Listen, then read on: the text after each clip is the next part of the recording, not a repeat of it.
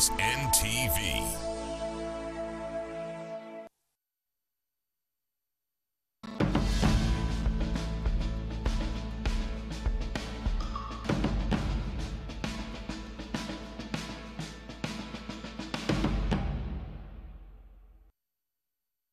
Thank you, our viewers, for joining us. I'm Karaga Baldwins, and this is a beautiful evening. And we're going to be talking about an international pertinent issue because Uganda is going to host an epic conference uh, for the Commonwealth parliament, parliamentary proceedings that uh, are internationally uh, cognizant with the politics and, of course, the economics of that Commonwealth. Before we go into a real in-depth studio discussion, let's have this introduction, then we'll be right back. Queen Elizabeth II, in her address to Canada on Dominion Day 1959, pointed out that the Confederation of Canada on 1st July 1867 had been the birth of the first independent country within the British Empire. She declared, so it also marks the beginning of that free association of independent states, which is now known as the Commonwealth of Nations. The Commonwealth of Nations, normally known as the Commonwealth, is now a political association of 53 member states, nearly all of them former territories of the British Empire. It dates back to the first half of the 20th century with the decolonization of the British Empire through increased self-governance of its territories. In 1948, there was the founding of the Commonwealth Parliamentary Association, initially dubbed as the Empire Parliamentary Association, at a meeting on 18 July 1911 at what was then the House of Commons Committee Room 15 in the Palace of Westminster. As well as members of the UK Parliament, the meeting was attended by representatives of the then Dominion Parliaments of Australia, Canada, New Zealand, Newfoundland, and South Africa, setting off the commitment towards this conference to an annual regularity scheduling hosted by different Commonwealth member countries. In November 2018, the Speaker of the Uganda Parliament, Rebecca Kadaga, was elected President of the Commonwealth Parliamentary Association for 2018 to 2019 during the executive meeting held in London, UK. The Parliament of Uganda was tasked to hold the 64th Commonwealth Parliamentary Conference, or CPC, in September 2019 under the theme Adaptation, Engagement and Evolution in a Rapidly Changing Commonwealth. This conference is an added confidence vote to this beautiful country, Uganda, as being a global destination center for meetings, incentives, conferences and exhibitions tourism on top of the 2007 Commonwealth Heads of Government meeting and the 2011 Interparliamentary Union conferences. Historically in 1967, the Commonwealth Parliamentary Conference was also hosted for its first time in Uganda. As a way to engage the nation's public about the significance of this event in our country, NTV, in conjunction with the Parliament of Uganda and its organizing committee of the conference, have teamed up to generate interest and enlightenment on how capable citizens can capitalize on the economic and social potential that this opportunity presents. You're welcome. Once again, I'm Karaga Baldwins and very delighted that you're joining us tonight for this very prolific discussion. And on our social media, we have posted a question asking you that Uganda is hosting this event, but do you think that such events are of any qualitative value to the ordinary person? And just let me set out just a few uh, responses before we get into the actual discussion. Uh, Ogwang Olot says that uh, I think so, however little value it might be, depending on the available demand. I expect some ordinary Ugandan to benefit following the outflow procedures. Uh, then uh, you, I see Bragizi William saying that we are university students in Uganda who have innovated a platform that will heal the rampant sexual harassment. Okay, that's a bit uh, of the, the, the context. Then lastly, Austin Segasta says that these are just wasting our taxes. We have biting issues at hand. Unfortunate, the government is investing into politics instead of tackling issues that are being ordinary, are biting ordinary citizens. And please keep those very responses flowing in because the people here for this discussion are very authoritative to make sure that uh, we can move the discussion in a better practical manner. Gentlemen, you're welcome.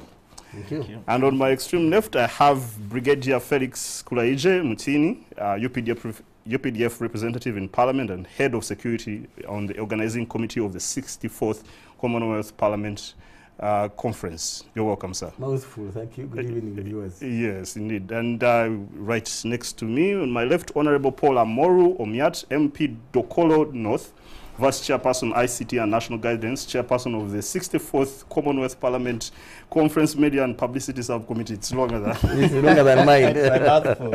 yes. Yeah. So let, let me get you, Paul, right straight on this, because you, you, the historical chronology of this conference, as I go in a descending order, you have Sri Lanka in 2012, uh, South Africa 2013, you have Yaoundé, Cameroon 2014, then 2015 there was none of this conference uh, conducted, London, UK hosted in 2016, Bangladesh in 2017, and 2018 it was not hosted, and Uganda is hosting it.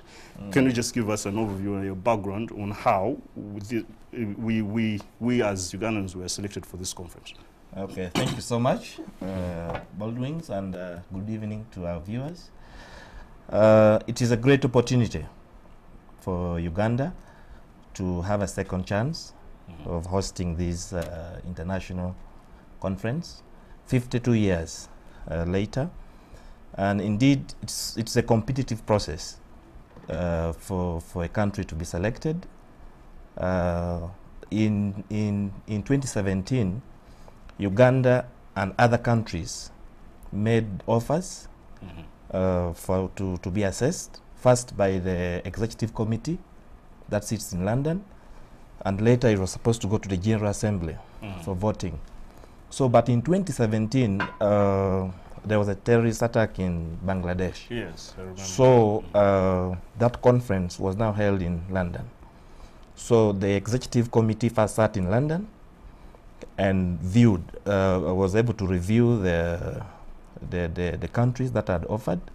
And usually they look at your capacity Mhm. to host uh, uh, a conference of that uh, stature. They look at issues of security. They look at uh, the, the, the parliament, its independence and maturity, and, and, and, and, and how it uh, conducts business, uh, and many more other, other, other things that uh, would make the delegates to be comfortable and, and, and, and, and to come and participate. So the executive committee found Uganda to be most uh, befitting, and they voted overwhelmingly that Uganda should host this 52 years later.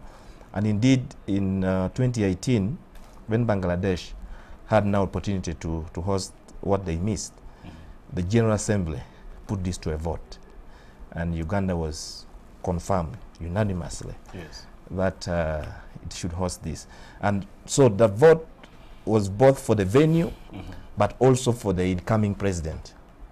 So our the Right Honourable Speaker, uh, Rebecca Alitwala Kadaga, uh, she's, she's well celebrated on the international scene as much as here locally.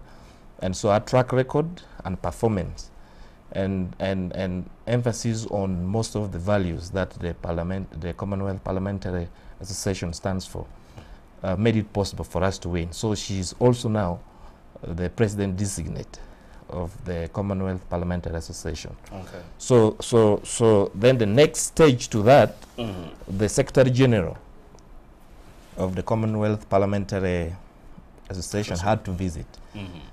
Uh, he, he visited twice, early in the year and then around around April, to assess for himself, to look at the venue, to meet the National Organizing Committee, and uh, he was overwhelmed with the level of preparations, and said we we had shot over and above the expectations. So Mhm. as I speak, Uganda is very happy about this, and we, we expect that Ugandans will look up to uh, the many things that will happen. Uh, because these opportunities come most times once in your lifetime. You can be lucky to, to exist Yeah. twice because another time we will have this, Mhm. it will be over uh, 52 years Yes. again. Hopefully not. Yeah, because we have we have 54 member uh, members States. member states as of now, and, and and every state would want to to have the opportunity because of the benefits that we shall share later that come with this. Okay, thanks for that synopsis about this particular qualification to have this. So, Honorable Felix Yes. Kulayigye, definitely you're a resounding name to the public and uh, you're well known. You're a I'm- soldier. I'm humbled. Uh-huh. You're a soldier in Parliament, uh, representative, uh, a representative of the UPDF. Yes.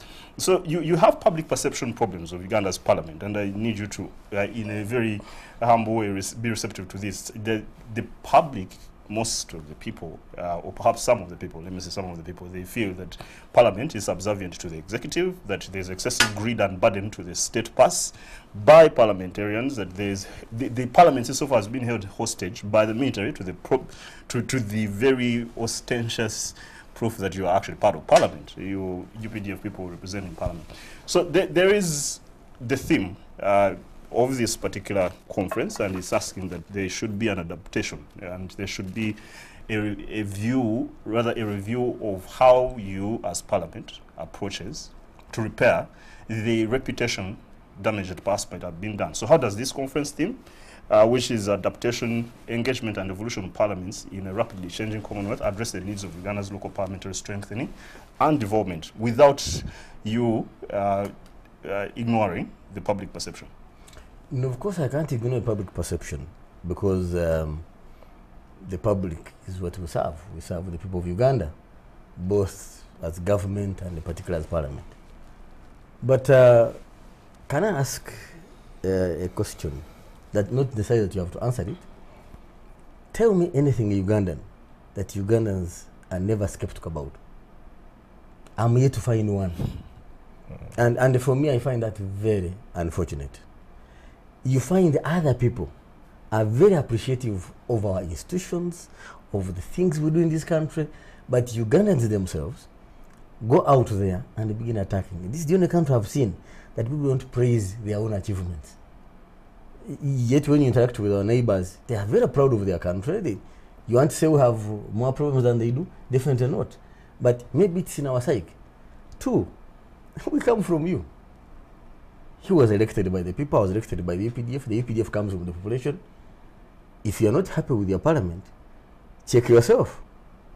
But I mean, I think that uh, we try to compare our parliament against, I don't know, a standard I'm yet to find. Because those of us who bother to read about other countries, you find we are better off in many ways, many ways, than many people would have thought, or how others are doing business. Talk about the independence of parliament. Actually, this is the only parliament that checks the appointments of the president. Yes, Congress in the US, you can see where we measure. A country that has been independent for over 350 years is where we measure our standards. If that's not an achievement, then English has changed the meaning. Two, where we came from, the people who were colonial masters of this country, the British, mm. they began parliamentary democracy in 1353, 1335 actually. But women were allowed to vote in 1929, after how many centuries? Even then, today, our female colleagues earn the mm. same amount of money we do. Mm. In UK, the ladies earn lesser than their male counterparts. In fact, the BBC bureau chief in China resigned two years ago because she was earning less than her counterparts. So why don't we celebrate the achievements of Parliament? Like my colleague has said, look at why is the Speaker celebrated internationally? If the Parliament was indeed subservient to the executive, then she wouldn't be getting the accolades that she's getting. Three, our involvement as the UPDF. You know, when you want to study phenomena, then start from the root or start from the beginning. How does the military get into our parliament? First of all, it is not new. It's not unique to this government. Number three, we have a history. And a society that does not follow its history easily gets lost or makes mistakes because you are repeating mistakes of the past. In fact, some people have said that history does not repeat itself. Rather, people repeat the same mistakes that have happened in the past. So, for us to avoid the pitfalls of the past, we got a solution that the first solution to instability in the third world, and in particular in Africa, is keeping the military hidden somewhere. And when you fail to solve the political issues of the day, you remember to open for them, mm. as if you're opening for dogs to deal with thieves. Mm. Now, we are scientific enough to say no. We know our past, and the best way of insulating our constitution is involving every sector of our population. Now, if it has served us well for 33 years, and yet others are having issues of stability, of political progress, of democracy, you talk about, oh, you know, our parliament is not dependent. Check how many bills in the parliament we pass. Check how many issues from the executive we question, and others even we stop. Because how do you gauge the independence of parliament? Is in as far as how they can make decisions. Maybe allow me use this opportunity, um, Honorable Paul, to elucidate on operations of parliaments. In a multi-party democracy, parties have caucuses, and issues are hammered out in the caucus. So that by the time you come to parliament, mm. a particular party has a position. It's in this parliament that you have individuals taking decisions against the majority decision of their political parties, mm. and they still remain in that house. Yes, but, and, and you don't think that those decisions at times are very arbitrary, very centered on perhaps one individual interest, because that is where the challenge is. Now, now Honorable Felix, I need to just have a break because usually. And I will start with uh, your last question. Let me go. Our viewers, please let's go for a break, and we'll be right back to just have a more expounded uh, discussion of this particular subject. Thank you.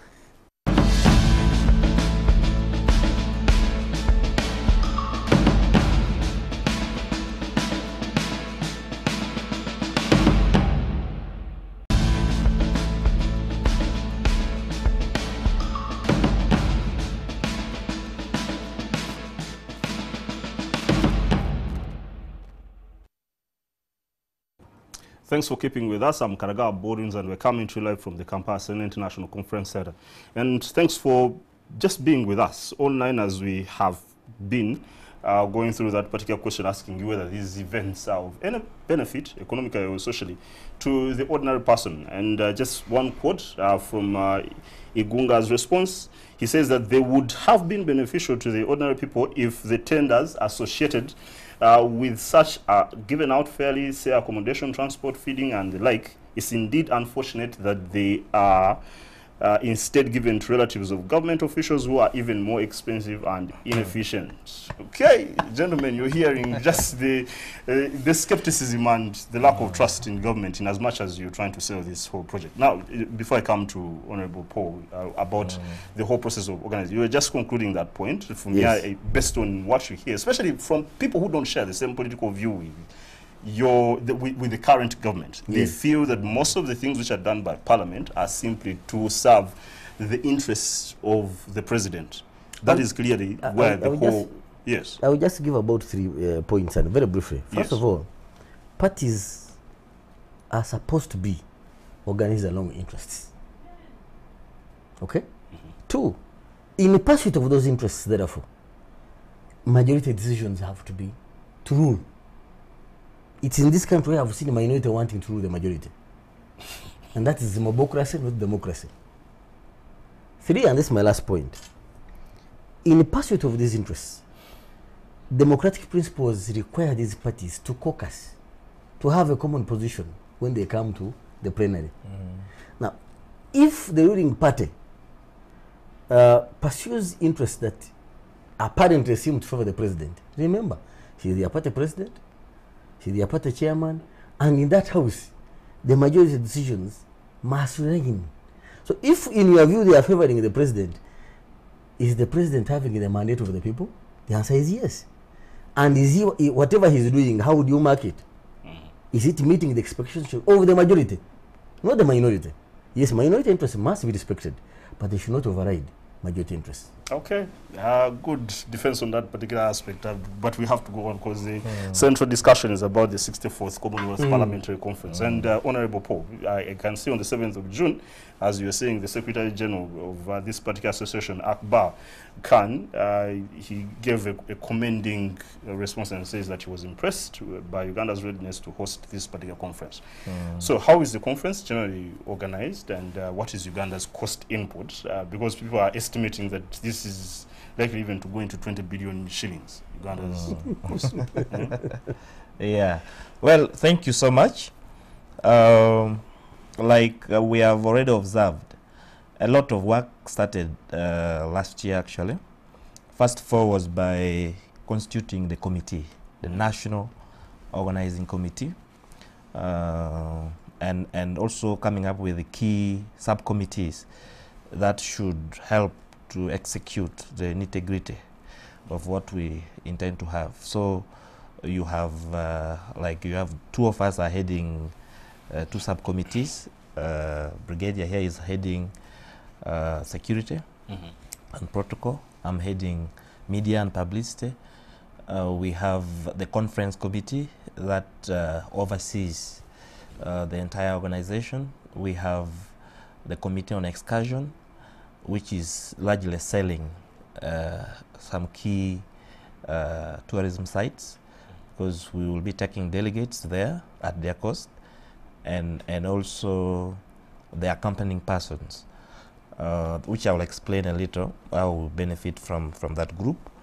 Then uh, we have accommodation, uh, we have uh, Conference management. conference management, and so forth. And uh, so uh, so all these teams are working together to deliver Mm. uh, a good conference. Uh, for example, you see, like within the media, which we launched, also we called all the editors. Uh, we shall be establishing a state-of-the-art media bureau at uh, the conference venue, where um, local media and foreign media are able to operate for seven days uh, and, and either file their stories, upload Mhm. or stream whatever they want within the conference venue, and that is, That like is directly Munyonyo. and yeah in at Munyonyo. So conferences like this usually uh, is cost shared. Mhm. We have uh, contribution that comes from the secretariat. Mhm. We have the contribution that comes from registration fee, and then and then uh, the contribution that the government of Uganda has to put. Indeed, uh, all of that, the, the, the, the, the budget, the projected budget is around 20 billion. Uh, and uh, uh, to contribute to this basket, Is that locally sourced billions or Yes, supported? well, uh, I, like I was telling you, Mm. we we have contribution from the secretariat.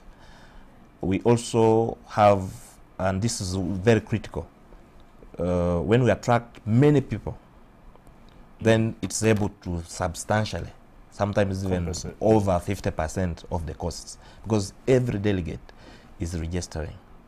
And for members of parliament and speakers, there are over 500 of them. So you have uh, speakers from 54 countries around the Commonwealth uh, uh, family, and each of them, each of those speakers, pays a registration fee.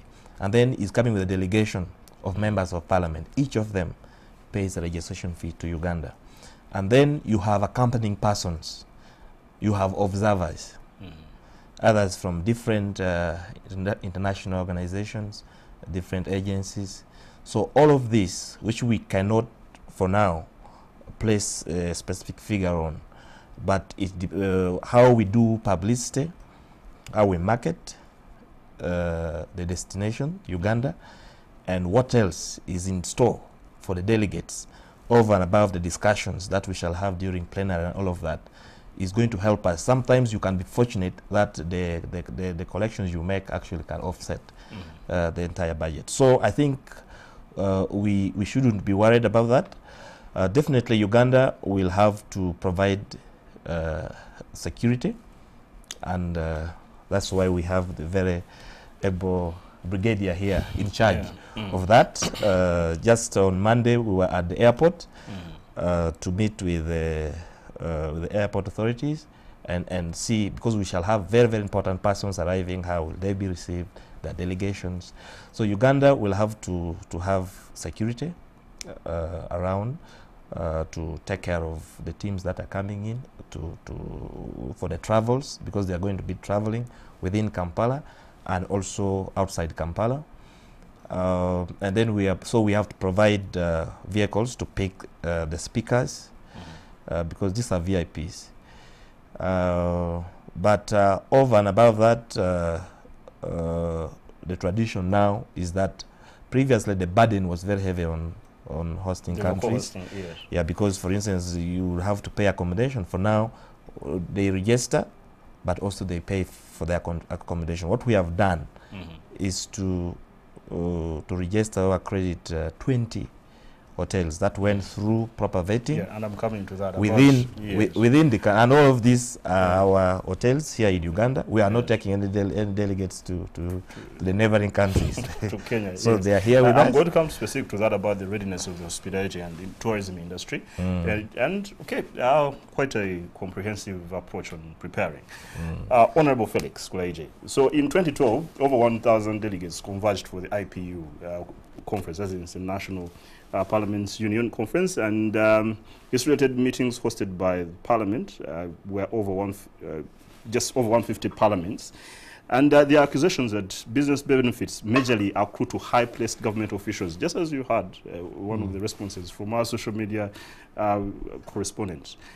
So he's giving this very glossy and uh, flowery benefit package for the population, but actually there is a whole lot of skepticism, and based on uh, evidence of uh, earlier audits that were carried for CHOGM, for IPU, and for other major conferences, people have not benefited as much, it seems. So, what is the, in, in your own emphasis here, how economically uh, beneficial is this to, First of all, allow me start with an appeal. yes? Can we stop always looking at the, ga- the glass as half empty? Yeah, on my part, I have to look at it as half empty so that you No, make you fill it. it up. Yes. but it's not you alone. this is the, the the attitude of Ugandans. yes. Start from a positive angle. Mhm. The glass is half full. Mhm. Once you start from that angle, then you'll be able to see things in the positive perspective. In the positive perspective. Look at the business that's going to come to the country. You are talking of over 1,500 people paying for accommodation, for starters. That's meant to our hotel industry.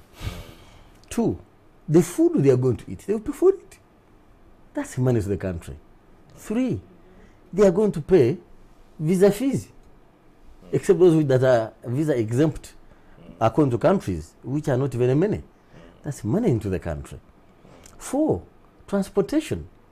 Yes, we have vehicles prepared, but the other people who are not being catered for by parliament, they will hire their own vehicles. The other countries that actually prefer to hire their own transport when they go to some of these countries, all that is money. For me, I would ask Ugandans, position yourself. What do you have available? Right? There is an exhibition going to take place. Uh, actually, allow me to compliment my colleague. Uh, my committee handles accreditation. Protocol is a different committee. So in the slip of tongue, I had mentioned the protocol. I handle accreditation. So we, are, we have even issued dates when we should be accrediting those who are going to exhibit in this conference. And we are not limiting to it's open. Five, they are going to go up country. Kaguru, uh, Equator, um, Maya Resort. These are these places, they are going to spend money. So what am I talking about? You who is lamenting about last time, because I don't have evidence what happened in IPU, but I know it was a successful conference. Then look at the publicity of the country. Coca-Cola is what I normally give as an example. Coca-Cola started Coca-Cola started production before I was born. But every month they change jingles. That's money being paid. This conference is advertising our country world over. So you as a Ugandan, what is it that the world is going to see that you are producing? You see, even if rain comes the whole day, the whole week, if you don't have gutters that are directing water into your tank, it will go to waste. So similarly, as these people come here, what are you tapping into this conference as a Ugandan? What is the standard of what you're offering? I know I give the example of our sisters, the ladies. Why do you think they check themselves every day and in every mirror?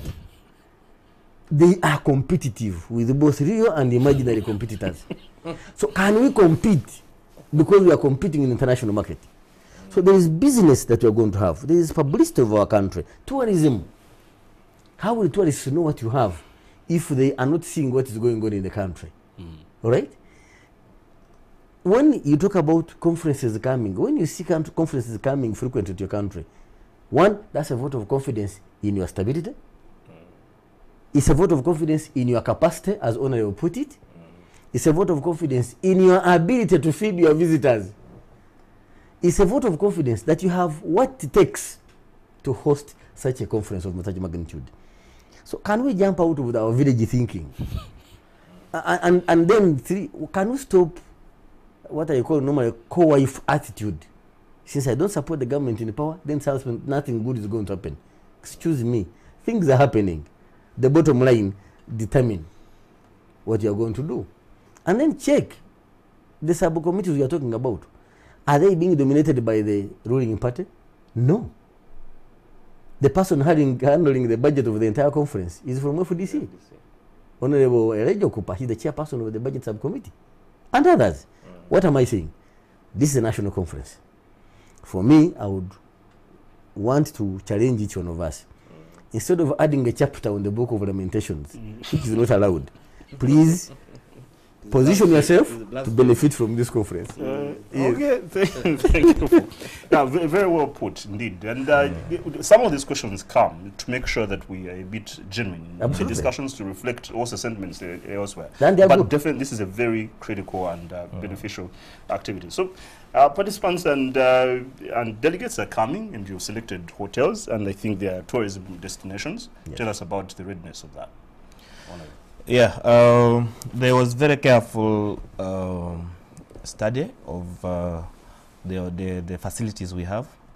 Uh, first of all, in fact, we have we have gotten to a stage where uh, it's no longer an issue, even attempting to ask whether Uganda has capacity to to host uh, conferences of that uh, magnitude, and that's why, uh, especially after CHOGM, when we, by the way, just to, re- to refresh your memory, when we first hosted uh, uh, CPC in uh, 1967, we did not have any facility at all. Uh, so Apollo Hotel, uh, the present day uh, Sheraton, had to be uh, hurriedly, government invested very heavily in that, and then Oh, also so Sheraton Hotel was put up in response to that. yeah, yeah, to host that, and, and, and also Chobe Safari Lodge at, at the Murchison National Park was also uh, put in place, and de- and delegates were taken to that place. And so, if you look at, so those, there were two facilities. Yes. That, that so when you now look at our capacity down the, the, the, from that time to date, to date, uh, when especially when we hosted the CHOGM, and and uh, our the Ugandan borders has been open to to all these high profile uh, conferences, and uh, you you saw UN. Mhm. Uh, also some of the pictures yes, the hotel yes, yeah. that You saw UN uh, hosting the, the, the, the refugee conference. Mhm. The whole world was here. Uh, and then we had IPU. And now we have uh, CPC. And more are coming. The private sector, many of these. So Uganda is now a destination. And, and, and definitely you're going to see the, the, the benefits as uh, uh, Brigadier was talking about. Others are immediate, others are long term. Uh, the, the, the, the, the, the, the, the, benefits that will accrue. There are many visitors that will come and then plan to come back for a holiday to Uganda. So our hotels, uh, we took the Secretary General, Mr. Khan. It was eh, we took him to Munyonyo. We brought him here to Serena. We uh, Sheraton. So 20 hotels in the, within the outskirts of Kampala. Others have, are preferring to stay in Entebbe, uh, and others are even going outside uh, the, the, the, the 20 hotels that we have uh, selected, and, and we still maintain it is safe. Uh, so, so uh, uh, in, in as far as the readiness uh, and capacity to host this is not in doubt. Like we told you, we already got uh, a, a, a long take from the Secretary General, who comes is, is he has the, inter, the international standard. But he comes yeah. with the perspective to look at, and and some of the areas that uh, uh, uh, was talking about in the area of de- uh, democratic governance. You recall that actually Uganda was suspended some time back in the in the 70s, seven, 71, 72 72 from the com- uh, from from the Commonwealth, because and this their yardsticks, their standards, their values that are reviewed every year. And indeed, the worst thing that CP, uh, the Commonwealth would do is to associate with a country that does not uh, meet Those the basic standards, leave alone hosting it. Because even just membership, like we were, we were suspended from being members. But to go as far as uh, uh, accepting to be hosted by a country that some people think, as you, you are reading and has been explained by Brigadier here, does not m- uh, meet the democratic governance uh, uh, prac- uh, practice and all of that, is definitely uh, overstretching this. It's important for the public to remain critical, to, to always ask questions, to hold government accountable. This is very necessary. But we want that always to remain objective. We need to get moments when we pull together as a country and understand what is good for us and see the opportunities that we have as a country. Not everybody can be president, not everybody can, can be journalist, like you know, do everybody can. So, but all of us, from all different walks of life, from all the sectors, we need to see what are the investment opportunities. We, we have investors coming here to see. That's why we, sh- we shall be having exhibition and is open to the, uh, across the country. The entertainers that, that we shall have both at the opening ceremony and at the closing ceremony. We are picking them from across the country. And some are coming from, from, from, from, from the east, from the north. And you will be seeing them. And, and so this is the deliberate position that uh, we, we have been able to take under the leadership of uh, the Right Honourable Speaker to ensure that uh, uh, every Ugandan feels part of this. Uh, of course, we, we are going to be having some extras, like Yeah. the, the president will be at, the- at the opening, but also is going to have a dinner with the, with the, with the delegates at State House. And, and all of these are still opportunities. And international, every speaker, over and above the, the accreditation we have given to about 240 journalists, but every speaker's delegation also has an elaborate press team. And, and, and then we have the international, all of them, the, the lenses will be on us. So, I, so I, money. Yes. So so so democratic governance. You see, when you associate the peer-to-peer relationship, there's there's always always an ac- accountability mechanism, where uh, uh, uh, when we meet, we are able to remind ourselves, we're able to set standards, we're able to set best practice that we want every day. We cannot say we have arrived. No country will arrive. That's why even as a Christian, you can't stop going to church that I've read all the Bible, I've understood it, and I no longer need to go to the pastor to pray for me. It, we are going to continue to do that until uh, God decides that. Uh, That will go so, to him so so that is their physical infrastructure. Uh, in, okay, improved capacity, boosting our foreign exchange. The forex bureaus are all warming up Ah, okay. uh, to, Ju- to, just to a pause on that, Honorable Paul, because we need to go for a break, and uh, it definitely is just so much elaborate uh, benefits that are coming to this. But there's an eating, there's, there's a problem eating up uh, the whole world, and particularly the Commonwealth, the Asian countries, Pacific, and of course Africa, about youth unemployment. When we come back, Honorable, I need you to help us understand how this particular association is trying to alleviate or perhaps mitigate this problem. Thanks our viewers for keeping with us. When we are back, we'll conclude this discussion. Thank you.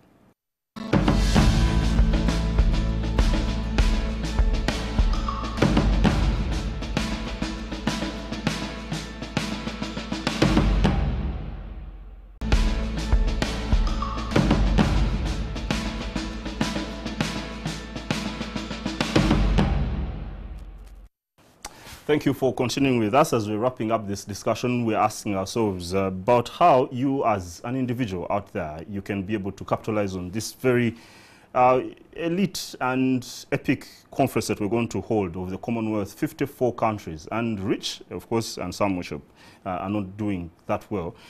But all of them are bringing resources in this country. And uh, we've asked another question on your advice on how we should benefit from this. And I can see Patrick Okot saying that local goods be branded made in, uh, in China or USA or Britain, uh, rather other than having those that are branded USA, uh, Britain and China. Instead, we should brand our own and make them local. Uh, maybe find ways of trading with other countries in the Commonwealth. On a political side, countries in Commonwealth should find ways of uh, engendering political dispensation. Okay, not pretty clear uh, submission. So, Honorable Felix, uh, of course, in cognizance with the response from the audience, there, there is a wide problem, a very bothersome problem of youth unemployment. Young people below the age of 35 or even below 30. And uh, here in, in the country, Uganda so specifically, the, there's a research that has been done by the Advocate Coalition for Development and uh, Environment saying that youth un unemployment is standing at about 70%, very frightening. And about 30% of those youths who are institutionally qualified in Uganda are unable to find jobs, and the situation is even worse for semi-skilled uh, people. Now, as an association, and uh, particularly uh, for this particular conference, how is this going to be addressed? And definitely not just in rhetoric. How do you think this is going to be addressed? Uh, first and foremost, when we talk about the economic um, benefits that are going to accrue from host, hosting such a conference, in the long run, this money is not going to into pockets just. Hotels are going to reinvest, or business people are going to supposed to, to reinvest. But besides that, it's a critical examination of this unemployment. Again, Mm. it depends from the angle. Is the youth bulge uh, a disservice, a danger, or it's an opportunity? I'll tell you, one of the reasons why Japan lost the second position as the most, the second biggest economy in the world was because of the population type. The working people were less than the consumers in terms of age, because the Japanese are living longer. Yes. So you would find a small population is sustaining a big population. Now, when it comes to Africa and many of the third world countries, it is going into one, what's the level of industry in the country? Even the, the, the sector that has been active for ages, agriculture sector, how many youth are involved in it? Instead, what has been happening? Rural urban migration people are selling land to buy border border. Three, what is our attitude to work? Because you see, instead of crying about a job, for me, I believe innovation is the first answer. Because each one of us, wherever we are, there are existing opportunities. The problem, what are the lenses we are wearing? What capacity do you have? I mean, let's be honest to, to ourselves. When you go to university to study human resource and personnel management, how many companies are going are are actually looking for human resource managers? yeah. When you are studying political science and sociology, what are you coming out to do? For me, these are the questions I now ask when I meet young people. Number four, what's the role of government? Government is supposed to do four things create stability so that people can invest, build infrastructure so that those who are investing have roads to use to reach the market, to reach the source of raw materials. Three, provide conducive fiscal and monetary policies to manage the market, the money market. Four, communication. If you check, over 18 million Ugandans are now on phone. Yes. But what are we using the phone for? So, in my humble view, a conference like this one is actually push putting uh, and it is injecting capacity into the economy in terms of financial resources. My role as a Ugandan, how is to question myself, how can I tap into these visitors who are coming? But when you drive on a road and you see nothing is being sold on the roadside, and yet it's a tarmac road. It costs money to build, but the population along that road is not tapping into this uh, beautiful infrastructure that has been built. Then you get what about the country? So for me, I'm looking at, in fact, instead of going to on seminars and conferences to study the level of unemployment, start with dealing with the question of our attitudes, the mentality. If only we can run away from looking quick money, from quick, for looking for quick money, and go long term. If Ford, if Diamond Benz went for quick money, they wouldn't be having doing the market to date. Mm. So- of, course, hon- honorable, you're not too political because you're representing UPD, but you see, politicians actually are the ones who have quashed that particular principle, whereby all of a sudden they're in government and in just a span of about months, they have literally a billion shillings. They're raising up uh, skys, rather uh, mansions. They're doing money is quickly um, um, gotten, ill gotten, or perhaps properly gotten when you get in parliament, or- or rather parliament or government. And that perception for you thinking that uh, the young people are not innovative, they're not being responsive, i- i- is generated at times by the And, and you're, you're using the other, the other approach. No, I did not say they are not innovative. Okay. I say, mentioned things we need to, to do or Mm. need to have. When I speak, I expect the viewer to do self evaluation, self examination. What have I done on my part? Mm. Or if I did not get a job because of my academic qualifications, have I gone back to say, I better repackage myself to suit in the market? But imagine that the market will shoot, will Turn, turn itself so that it is available for me. for It's naivety. yes. And lastly, uh, and, and uh, Mr. Moderator, I'm glad you brought it up. No, can, no government. Actually, this government, in my humble view, has made one mistake giving people money. This is the only government, check across the world, that has given money to individuals in their hands.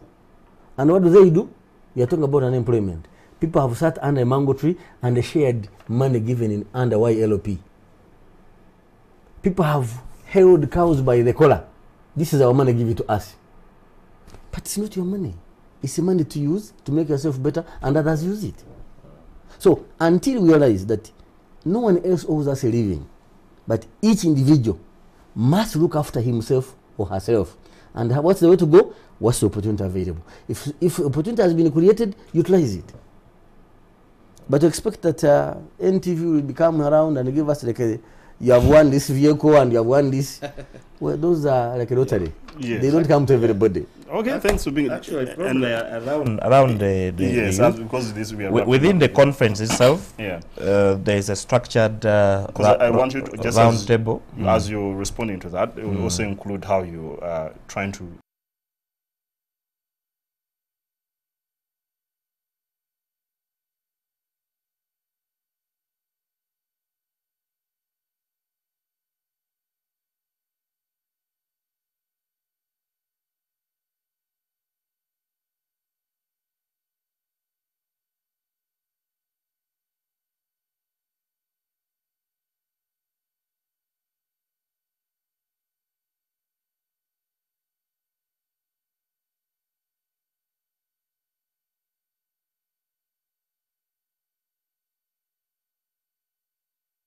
go under the youth livelihood program.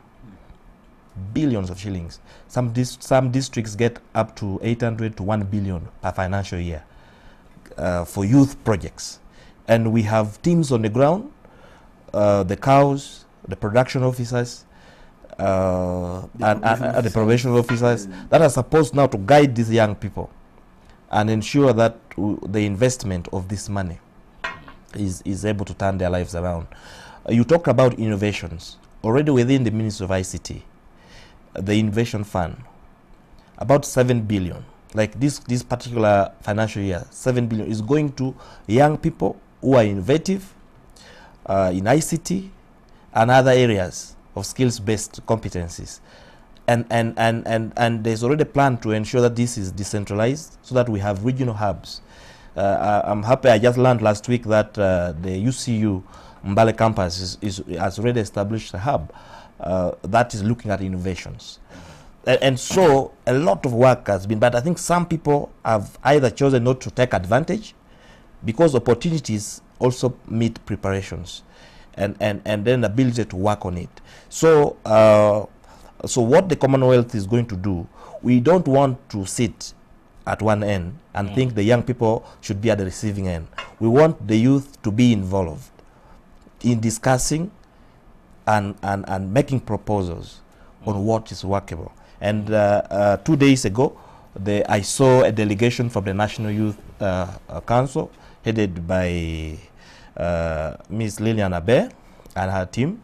They met the Right Honorable Speaker because there's going to be a round table. So our uh, Ugandan youth, youth leaders, including those in school under Uganda National Student Association, will be meeting with their counterparts from around the Commonwealth uh, nations. And they will be in a round table and they will assess these things so that we secure commitment at such high profile uh, meeting, conferences. And when we say uh, uh, engagement, uh, uh, adoption, it is then that the resolutions of, of this conference is, is cascaded, it is, it is sent to, to these parliaments. And you find that the speakers of these parliaments have been there, they have committed themselves to it. And when they go back home, they are then able to work on policies, they to work on legislation that make it viable for what has come out from the youth roundtable.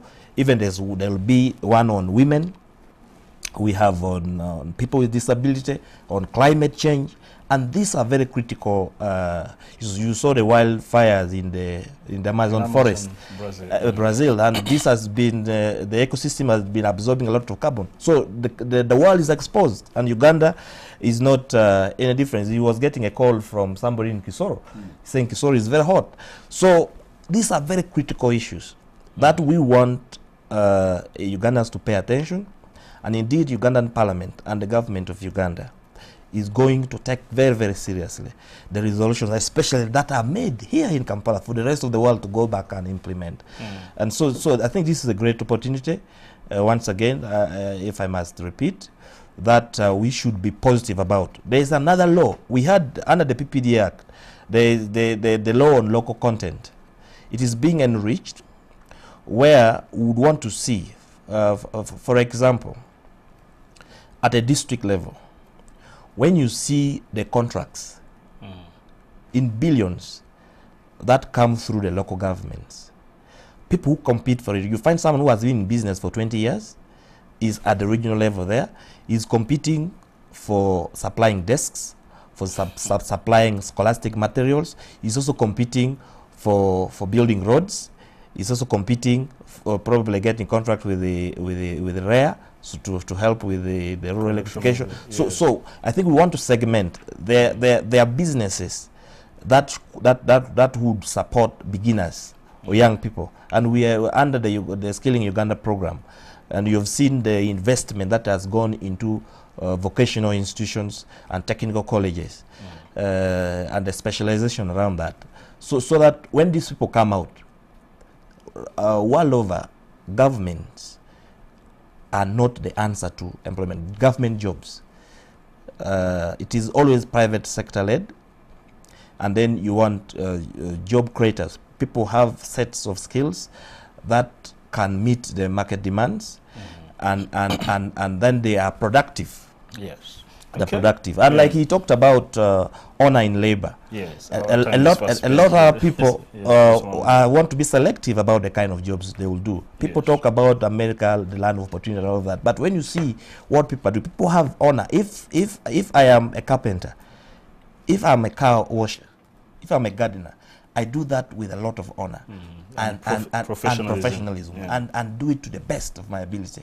And this is the concept that we must understand. People think you have to first wear a suit and a tie for you to earn a decent living. And yet, the, the actual works, the real paying jobs, is not in those in those places. You talked about the wealthier people. I don't know maybe where you come from, but for me, I think even in this country, the politicians, maybe a few here and there, who are, but the politicians are not the, the richest. You've people who have gone gotten into agriculture, people who have who are doing produce. When I, when you go to my town in Dokolo, some of the, the, the houses, the best houses, commercial houses that came, they were for produce dealers and, and people who, who, who are involved But- in the but they are production chain. And we need to support them, Yeah, to build on that, and encourage launched- everybody Yeah. to, to invest. So there's a lot of room Yes. for us to streamline how we, we, we, we, we are appropriating uh, the resources and, uh, and encourage uh, the education path to emphasize competence based Mhm. so that we have people who come out and they get into workshops and who come out and they are productive and they're able to create more employment and also be able to generate wealth. Okay, uh, very comprehensive uh, submission. Just Honorable Kulayigye, just one minute, please. Let me give you the last word on this, whatever you need about it, especially this conference to communicate. Uh, first and foremost, we do salute Ugandans who are supplying to the conference a number of services. Yes. And uh, I also wish to appeal to Ugandans to actually seek for the opportunities that are available in this. Three, uh, I want to assure the country it's because of the stability of this country that uh, international visitors are coming. Let us continue to cooperate with security agencies to ensure the country remains stable. Uh, the threat of terrorism is over the whole, the whole world. We have to keep alert. Uh, terrorists have not spared us out of kindness. It's because of vigilance that we have been able to keep them at bay. And lastly, um, please, please, please, the hospitality of Ugandans has been known internationally. Uh, where I was, I'm brought, I was brought up. Once you have visitors, you keep your differences in the rear until your visitors leave. So this time to be together as a country, welcome visitors, give them hospitality, tap from what the money they are bringing in, Build Oh, the network. build the The networks. Exactly, Yeah. networking is the way to go. Yeah. You have 54 countries coming here, different people. Mm. When you get in, in, in touch with the foreigner, exchange a business card. Mm. You never know. Then after they have gone, we can go back to our issues. All right. Honorable Brigadier Felix Kulayigye, UPDF representative in Parliament and the head of the security team And accreditation organiza- and committee. Accreditation. accreditation committee. pretty accreditation committee, yeah. And Honorable Paul Amoru Omiat, MP Dokolo North, the Vice Chairperson ICT and National Guidance and Chairperson. Uh, you're, you're closing that down. We need to thank NTV. Six, uh, Thank yes. you and NTV Yeah. for bringing us to the people. I know Yeah. people are watching us in Uganda Indeed. and also across And the world. Absolutely. In Mogadishu, are watching us. Yes. Yes. No, it's a great So, partnership, and yeah. we're going to continue. We have Yeah. uh, still more engagements, mm. especially for this particular project, and we're grateful for. And we appeal to you still, Yes. but the rest of the media industry mm. to stand with us. They're already doing a good job. Yes. Let's keep on drumming. All right. Yeah. Uh, thanks, our viewers, for keeping with us and indeed just keeping us as your number one station. If you're out there as an NGO or a government a ministry, a department or agency, and you want to pass a message that is comprehensively packaged, just as this, please come talk to our general manager, our sales team, or myself, and we'll have a great discussion over that particular issue that you're concerned about. Please keep logged on to us as NTV, your number one station. God bless and Karaga Good night.